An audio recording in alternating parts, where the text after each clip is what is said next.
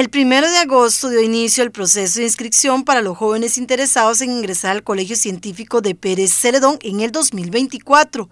Los requisitos para formar parte es cursar el noveno año, tener notas iguales o mayores a 85 en el promedio anual en todas las materias, tener nota de conducta igual o mayor a 90 en séptimo, octavo y noveno, no haber repetido ni arrastrado años lectivos y aplicar la prueba de actitud académica. Los interesados tienen hasta el 22 de septiembre para realizar la matrícula ordinaria y el 6 de octubre a las 9 de la mañana será la prueba de aptitud académica.